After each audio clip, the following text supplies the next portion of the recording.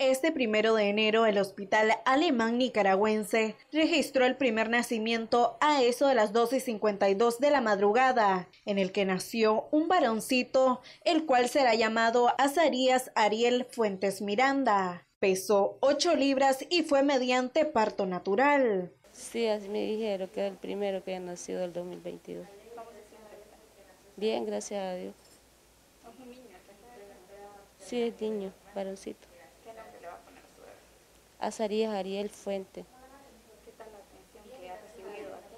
Pues bien, gracias a Dios, hubo bastante atención, bien amable los doctores, las enfermeras. Asimismo, a las una y diez minutos de este mismo día, nació por parto natural la segunda bebé llamada Natasha Valeria Romero. Su mamá comentó que ingresó a la sala de labor y parto a eso de las 12 y 40 de la madrugada y que no demoró mucho tiempo para dar a luz a su segundo hijo. Ingresé a las 12 y 40, nació a las 1 y 10 del 2022 y dándole gracias a Dios que nació sanita y pues con salud y con un nuevo miembro en la familia que es mi segunda bebé.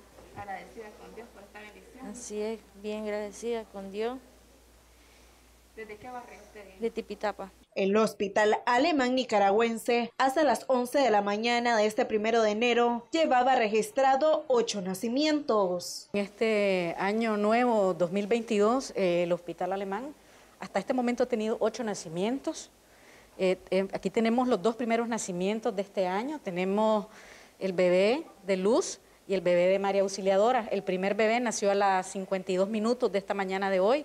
Un bebé masculino, sano, nacimiento por vía vaginal con 8 libras de peso.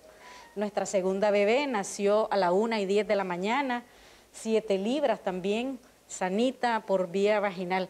Gracias a Dios, pues los bebés han seguido llegando y así lo esperamos pues que recibir con mucho cariño. Con imágenes de Justin Morales en Crónica TN8, เซเลนากรู